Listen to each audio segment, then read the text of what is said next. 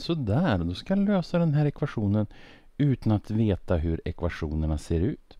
Och Det jag måste göra då det är att titta på grafen och hitta funktionen f av x, den har jag här. Och funktionen g av x, den har jag här, det är den röda. Och så ska avståndet i y-led här vara 3 för något givet x-värde. Så då får jag hela tiden titta då mellan de här och undersöka eh, var någonstans det gäller då. Okej, okay. så då kör vi. Och det som också är givet eftersom du har f av x minus g av x och att det ska vara 3 så måste ju här då den här f av x vara ett större tal än det här. Så jag ska alltså undersöka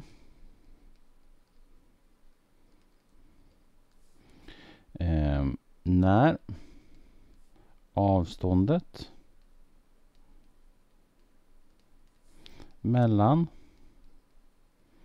f av x och g av x är 3 samt att f av x ligger ovanför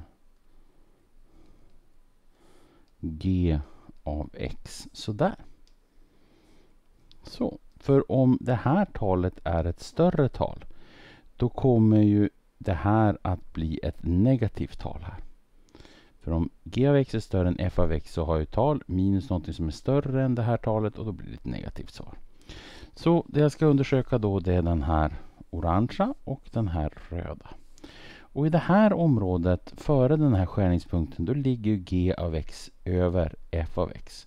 Och det är jag inte intresserad av så att jag börjar att titta här. Sen tittar jag på avståndet mellan f av x och mellan g av x och undersöker när avståndet är 3. Och här ser jag ju att avståndet är 3. Det där.